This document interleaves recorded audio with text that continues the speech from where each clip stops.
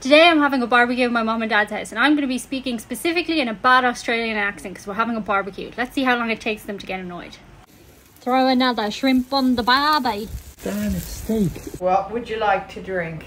No, Nothing? no, Some tonic? no, No. Some wine? no.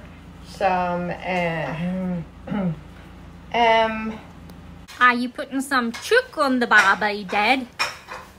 Some nice chook? You, you making chook? Need a bit of tucker for my dog.